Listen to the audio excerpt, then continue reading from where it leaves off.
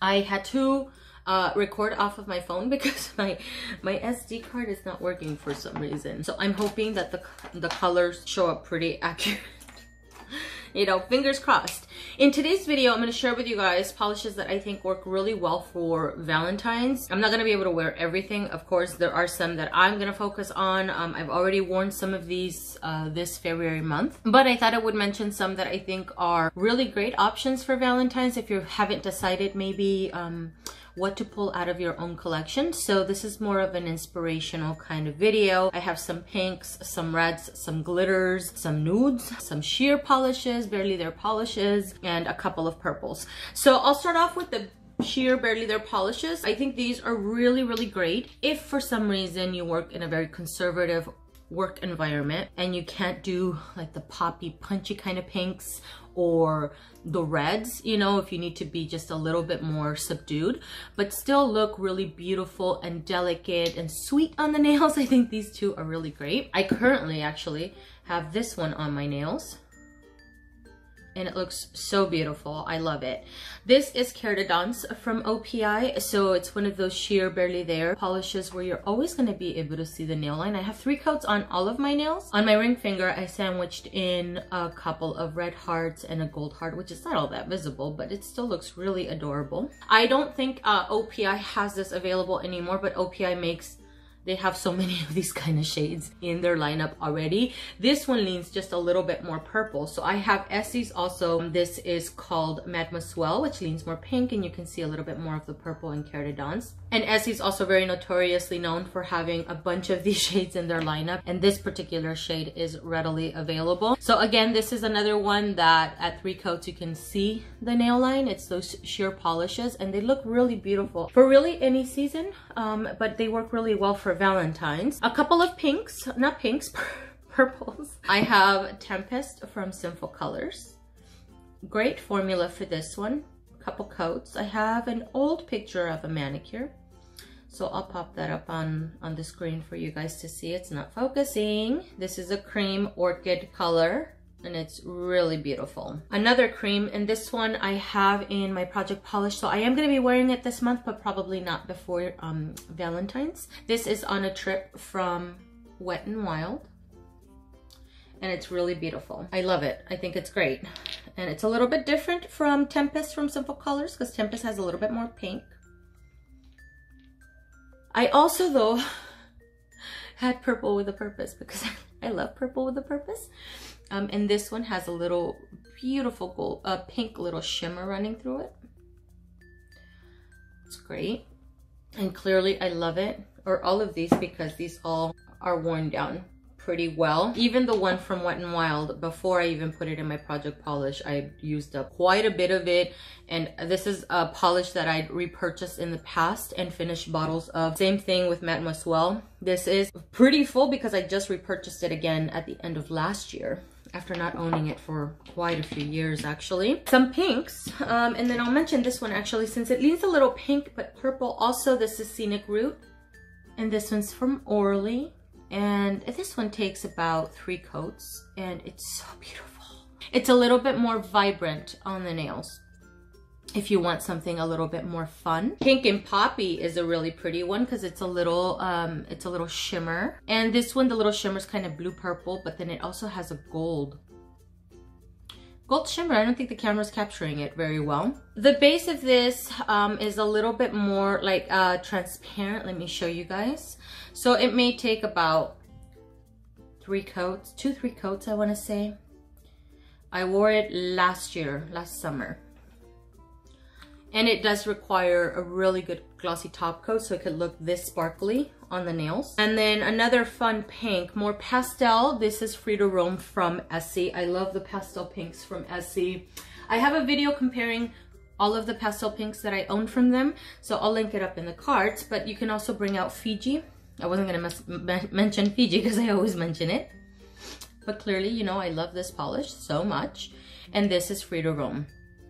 Out of both of them, Free to Roam has the better formula because it doesn't have as much white in it, but it still looks really beautiful on the nails. It's more blue leaning, more of a blue leaning pink. So three coats for this one, three coats for Fiji, but Fiji is a little bit more tricky as far as application. A more mature pink. This one is also from Essie and this is more of a rose pink. And then it has that strong gold shimmer. This is so beautiful. when I wore this, I felt like a senora, a very classy senora, like a very classy older lady.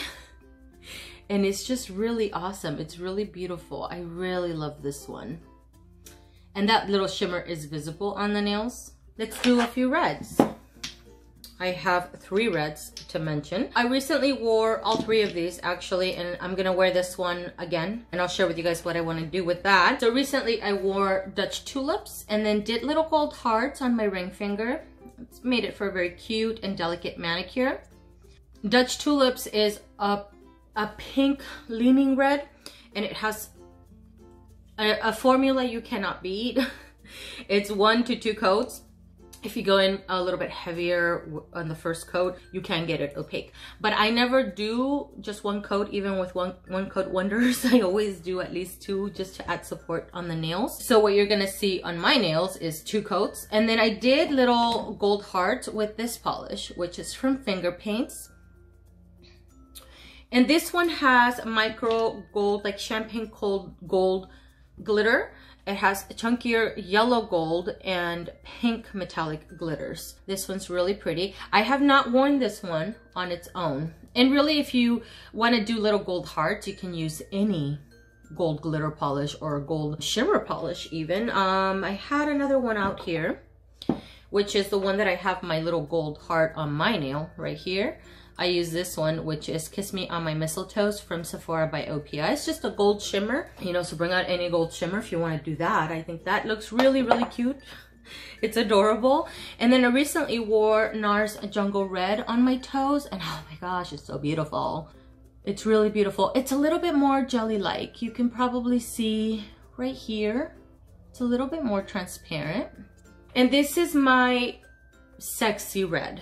Uh, it's it's so sexy on the nails. It looks a little bit juicy. Because it is a little bit transparent, it does require three coats for full opacity, but it has a really, really good formula. And then um, Sally Hansen's Can't Beat Royalty, another one that's also a little bit more transparent. You can see that right there. I've used this one so much, I don't think you're gonna be able to see, but I've used it so much that I have it down to here. It's so pretty. This one you can do two coats and it's even, but you can still see the nail line a little bit because it's a little bit more jelly-like. So on the manicure, you're gonna see I added three coats on my nails. And I actually did um, this one and paired it up with a white. I think white is also really great for Valentine's. You can do accent nail or you can do little hearts, you know, draw, draw on little hearts with a little dotting tool, which is how I did these little hearts. I just used my little dotting tool, but you can definitely use toothpicks or a bobby pin or something of the sort. The manicure that I'm gonna show you is in Can't Beat Royalty. I, I did all of most of my nails with Can't Beat Royalty, and then my ring finger, I did a French tip. I used French tip to stamp over the red polish, and then I used Can't Beat Royalty to stamp over the white polish, and then I mattified all my nails, and I thought that looked really, really beautiful. Really enjoyed that manicure. And then let's get into some glitter polishes here. Uh, this one from Morgan Taylor is called uh, rare as rubies. This one I've worn by itself. I think I have a really old picture and it's not the best um, looking picture. I couldn't capture how reflective this looked on the nails, but I do have it here by itself just at one coat. So the base is more of like a pinky red and then it has red metallic glitters, um, different size hexes. And it's really pretty by itself, but I think this works really well as a topper, maybe putting it over top of another red. Or I did, um, I think I did Can't Beat Royalty and put it over top of um, Morgan Taylor's Rare as Rubies. And it looked really pretty because this is kind of jelly-like, so you can still see the little glitters sitting under Can't Beat Royalty, but it, they're a little bit more subtle and it gives you more of a sparse glitter. But then this one here, I also use Can't Beat Royalty and used it as a topper and I layered another polish under it. So I started off with Untouchable Decadence from Orly. And this is a very dense, chunky gold glitter. So there's varying sizes of glitter. Some are smaller, some are medium sized, some are a little bit larger. put this guy as a base and then put a thin coat of Can't Beat Royalty over top of it. And it looks like rubies. Like rubies on the nails. Look at that. That's so cute. Look at how reflective that is. That's so beautiful. That is the manicure that I want to wear next after this one. I may only be able to squeeze in one more manicure. And then this one, uh, which I just added suspension base because I'd used up a lot of the base. And so I was down to here. And um, I wanted to utilize more of the glitter. So I put in a suspension base that's made for glitter just to fill it up. So I filled it back up. But this is called Minnie Style. And this one has a mix of red, pink, and white glitters. The base of this is a little bit, you know, you can see it's a little, it's tinted a little bit pink. So it's not something that I can put over top of a white, but I can definitely put it over top of a medium kind of pink. I think last time I put it over top of Eden. This is Jordan though. I mean, where's Eden? Right here. I had more to mention, which is why I brought I have so many out here. I have so many polishes sitting up here and then sitting in front of me. So I think last time, the last couple of times that I've worn Minnie Minnie Style from OPI, I put it over top of Eden from Zoya, which is also really, really beautiful. I'll post a picture um, of when I wore Eden. My only Valentine's themed polish is from Five Below. And I actually went to Five Below about one or two weeks ago now to see if they had any more Valentine's themed polishes because this is an old one. I've had it for years now. Um, and they didn't have any holiday themed polishes, which is shocking to me. So it could be because of everything going on right now. This one has chunky glitter. So you get some silver, white, and then some of the silvers also lean a little bit purple if you can see. And then it has red metallic lips. It's so cute. And I do need to fish for the lips quite a bit, but it's worth it. It's so adorable. I have that one right here. I think I have an old picture, very old picture. I haven't reached for that this polish in a really long time. You can see some of the glitters lean a little bit purple. Uh, cut above is a great option. This is a pink metallic. Look at that. It's so beautiful. This one is from the brand called Just Add Sun, which I found at Walmart. And it's called Get Your Pink On. This is the finest pink glitter I've ever seen. Look at the little glitters. That's so cute, right?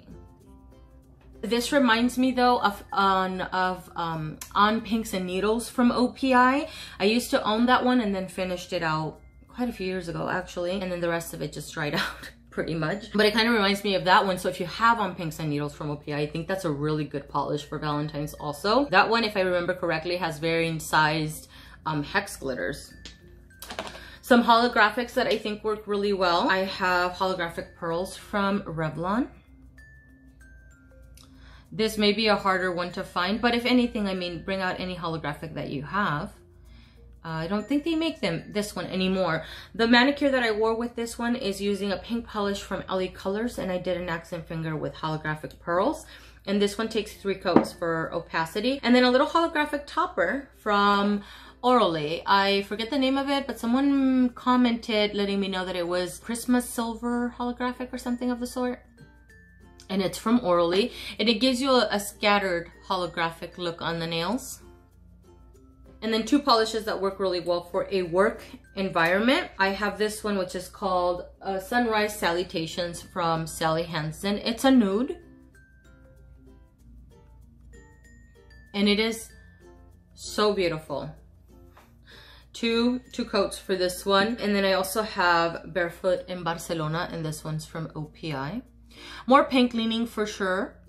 Both of them are really beautiful and both of them had a great formula great for a very conservative work environment like i mentioned. But if you want to get a little bit more experimental or have a little bit more fun you can also draw on some little white hearts very very small hearts maybe and make it more valentine's themed because these kind of polishes and these sheer uh, polishes they're great year round any occasion doesn't it doesn't really matter. They're not strictly for Valentine's, but I wanted to mention something that, you know, you can still wear at work if for some reason your your work doesn't allow wearing red polishes, whether it be creams or even, you know, let alone glitter. And then the same thing for maybe pink polishes. Maybe you're not allowed to wear something like this or this, you know? I definitely want to do the manicure of putting on Untouchable Decadence as a base and then putting on Can't Beat Royalty over top of it. And then maybe on my ring finger, I think, because I practiced on my little wheel here, I did some sandwiching. So I did a heart here with the gold glitter and then topped it over with Can't Beat Royalty. And then you can see the hearts. They're not super obvious, but you can tell that there's something under and I really like the look of that. So I may do that on my ring finger. I would have already posted all of the pictures of manicures that I've worn in the past. I hope that you guys enjoyed this video and found it inspirational. Thank you for watching. I hope you guys enjoyed this video and I will see you guys in the next one. Bye.